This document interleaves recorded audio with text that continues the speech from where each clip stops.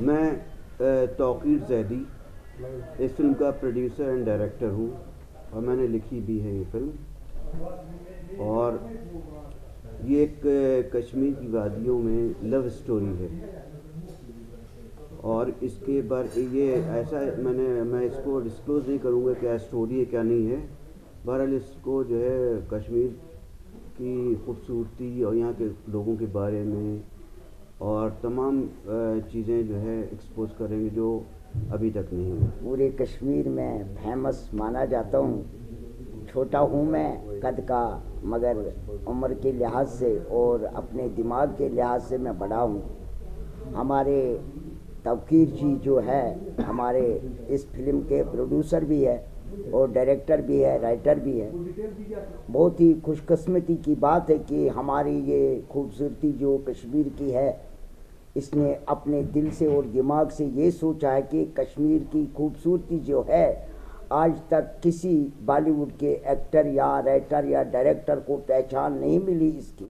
आज इसने पूरी छानबीन करके लोगों से पूछा कि ये वाकई हमारा कश्मीर जन्नत है और इस पे हमारे तवकीर जी एक पिक्चर बनाने वाले हैं, जिस पिक्चर का नाम अनसीन लव लाइन है।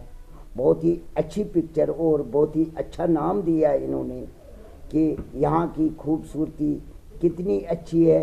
ये फ़िल्म फ़िल्म में फिल्माया जाएगा और अपने आवाम, यानी पूरे हिंदुस्तान से लेके कश्मीर तक ये दिखाई जाएगी और आप ही इसको लाइक करेंगे कि कैसी है, कैसी नहीं है। वैसे हमारा कश्मीर जो है, जन्नत का एक टुकड़ा है।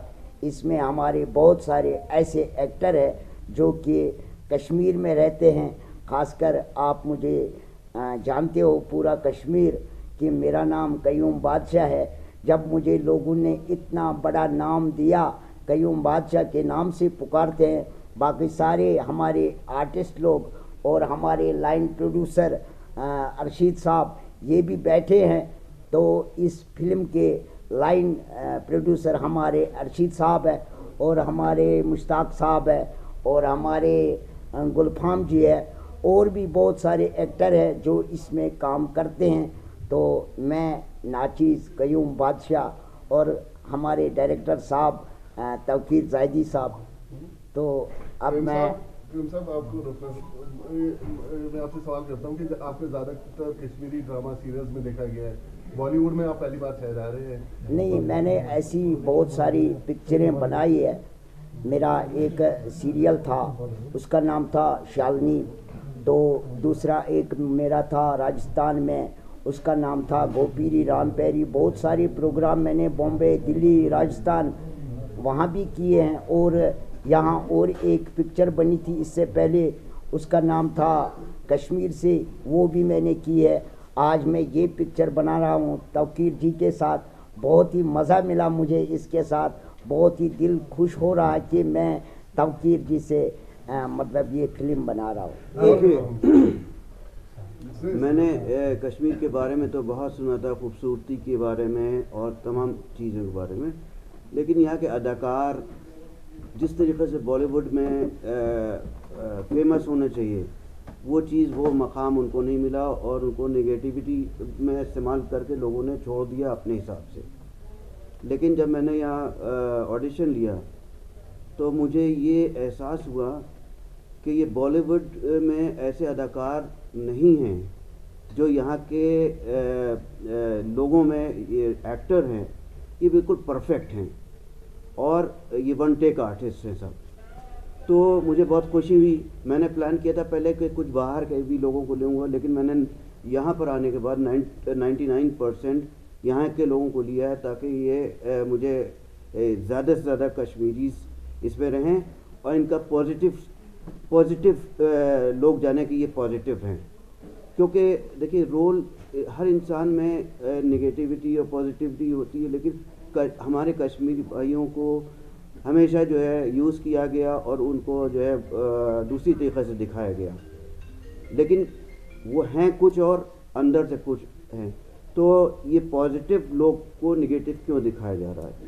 तो इस वजह से मैंने पूरा जो है ये किया कि यहाँ की जो सीरत है, सूरत के साथ साथ सीरत भी है लोगों में, टैलेंट्स है और किस चीज़ की कमी है? लेकिन फिर भी यहाँ पर क्यों ऐसा नहीं हो रहा है? तो ये मैंने फैसला किया कि अब मैं जो भी फ़िल्म शूट करूँगा यहीं करूँगा और यहाँ पर इस टूरिज़्म को भी इससे काफ़ी वो मिलेगा और हमारे जितने भी दोस्त अहबाब प्रोड्यूसर डायरेक्टर्स फाइनेंसर तमाम हैं सब यहाँ पर इन्वेस्ट करेंगे और बड़ी बड़ी फ़िल्में बनाएँगे। तो अभी तक कितने फ़िल्में आपने बनाई? देखिए मैंने दो फ़िल्में बनाई हैं इस समुंदर और ये आपकी गुड मॉर्निंग इंडिया जो है रिलीज़ पर है।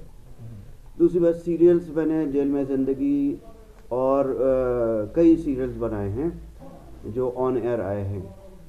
फिर मैंने ये सोचा कि क्यों ना मैं अ, कश्मीर में ही करूँ और क्योंकि लव स्टोरी थी और मुझे खूबसूरत वादी वादी की ज़रूरत थी तो मैं इधर आया। मैंने लोगों को जब कांटेक्ट किया अर्शद साहब से कांटेक्ट हुआ तो उन्होंने जो मिलाया मुझे तो अ, मुझे एहसास हुआ कि अभी तक जो मैंने अ, किया है कुछ नहीं किया।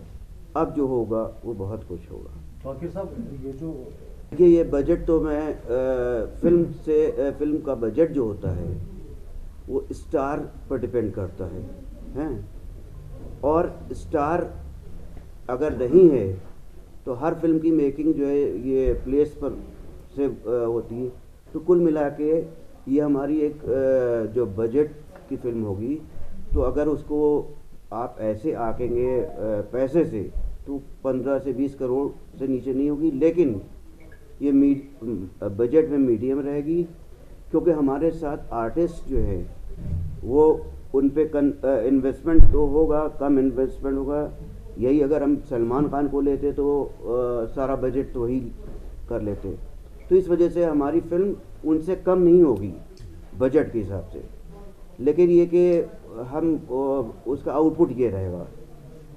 आप समझ रहे हैं? फ़िल्म के जो गाने हैं वो कुछ जब हम अ, हमारा देखिए मकसद क्या है? एक साइलेंस हो जाए तो हाँ बताइए बताइए।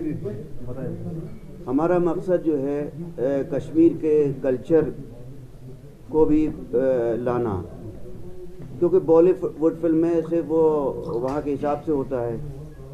यहाँ के कल्चर के हिसाब से नहीं होता तो यहाँ पर हम, यहाँ के जो सॉन्ग है, कश्मीरी में भी होंगे। ये हमारी लव स्टोरी है, और हम सिर्फ़ पॉजिटिविटी को देख रहे हैं उस एंगल को देख रहे हैं निगेटिव एंगल को नहीं देख रहे हैं। और क्योंकि यहाँ अपन कोई निगेटिव है भी नहीं पॉजिटिविटी है तो हम पॉजिटिव